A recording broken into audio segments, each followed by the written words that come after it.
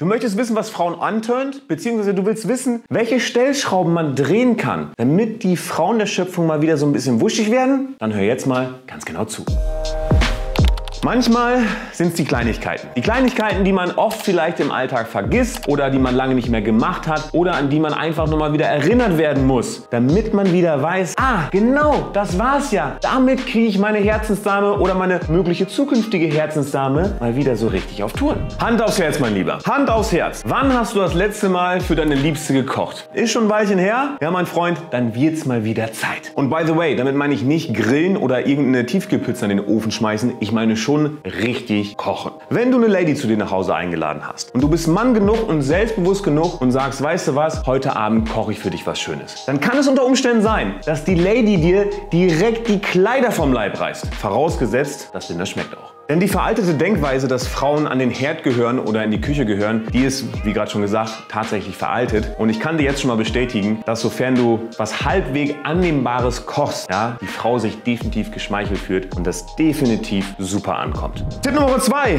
Make it a little bit romantic. Stell einfach ein paar Kerzen auf. Nimm einfach ein paar Kerzen, einfach mal anmachen. Das gibt direkt so ein bisschen romantisches Feeling. Und jetzt sagen wir mal, deine Frau kommt gerade nach Hause hin oder deine Freundin und überrascht sie und die ganze Wohnung ist überall vollgestellt mit Kerzen und du hast auch noch gekocht. Ja, mein Freund, welche Frau findet das nicht gut? Und wenn es um romantische Stimmung geht, da darf natürlich die passende Playlist natürlich nicht fehlen. Ist doch klar. Und jetzt stell dir mal folgende Situation vor. Du überraschst deine Frau Freitagabends, du hast gekocht, die Kerzen sind aufgestellt, es läuft schon romantische Musik im Hintergrund. Welche Frau wird nicht dahin schmelzen? Ich kann dir jetzt schon mal garantieren, den Nachtisch brauchst du nicht mehr kochen. Vierter Tipp. Nimm die Frau an die Hand oder an der Hüfte und zeig ihr den Weg. Was meine ich damit? Wenn du zum Beispiel in einer Bar bist ähm, oder sonst wo auf einer Veranstaltung und du nimmst die Frau an die Hand und gehst vor und zeigst ihr den Weg oder geleitest ihr, geleitest sie durch den Weg durch. Das strahlt eine gewisse Dominanz aus. Ja? Du leitest den Weg, du bist der Leader und du hast Körperkontakt und das strahlt natürlich auch nur eine gewisse Art Schutz für die Frau aus. Und ich kann dir jetzt schon mal garantieren, bei Körperkontakt und Dominanz, ja, du bist der Leader, ja, absoluter Turn-on für jede Frau. Und by the way, damit meine ich nicht, dass du die Frau irgendwo betatschen sollst, sondern du bist der Leader und ein Gentleman und du zeigst ihr den Weg.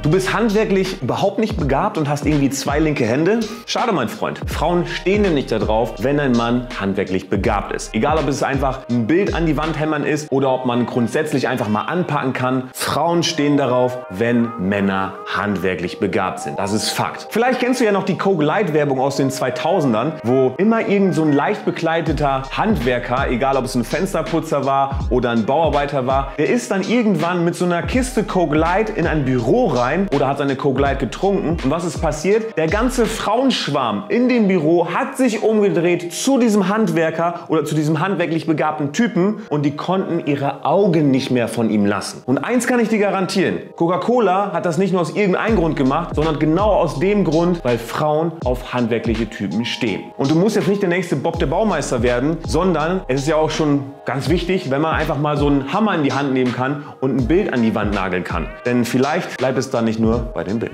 Tipp Nummer 6, gute Kleidung. Einer Frau fällt direkt, wirklich direkt auf, ob ein Mann sich mit dem Outfit auseinandergesetzt hat oder halt eben nicht. Und du musst jetzt nicht der nächste Fashion-Guru werden oder der nächste Instagram-Blogger werden, ganz im Gegenteil. Du solltest einfach die Grundregeln so ein bisschen drauf haben und einfach verstehen, wie du deine Outfits gut miteinander kombinieren kannst. Und wenn es um die Grundregeln geht, dann check einfach mal den Men's Style Guide aus. Da bekommst du einfach ein paar gute Guidelines an die Hand, damit du einfach dich in diesem Thema so ein bisschen besser zu Hause fühlst und das kannst du später dann auch richtig ausstrahlen in der richtigen Klamotte. Und mit dem Gutscheincode DALENKORTE20 bekommst du 20% Rabatt auf dieses E-Book. Kannst du dir ganz einfach aufs Smartphone runterladen und schon weißt du ein bisschen mehr. Heißt, wenn du ein Mann bist, der sich gut kleidet bzw. mit Intention kleidet und damit meine ich von Kopf bis Fuß inklusive Accessoires, das hinterlässt Eindruck bei einer Frau.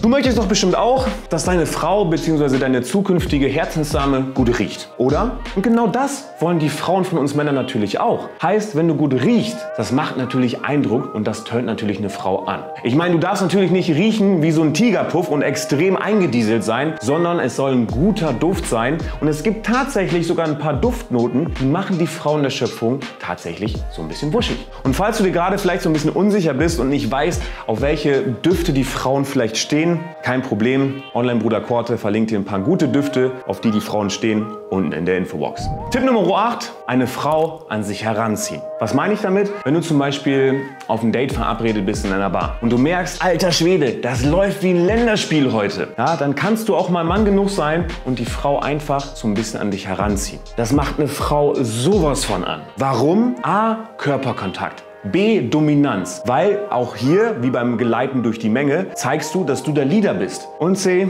Du zeigst, dass du Eier hast. Und welche Frau steht auf diese drei Aspekte nicht? Aber mein Freund, denk dran, bitte nur, wenn es die Situation zulässt. So Leute, ich hoffe, ihr konntet euch aus dem heutigen Video ein bisschen was rausziehen. Ich wünsche euch da draußen ganz viel Spaß bei euren Dates und ich hoffe, dass jeder von euch irgendwann seinen richtigen Partner an der Seite haben wird. Macht's gut, haut rein, bis zum nächsten Mal.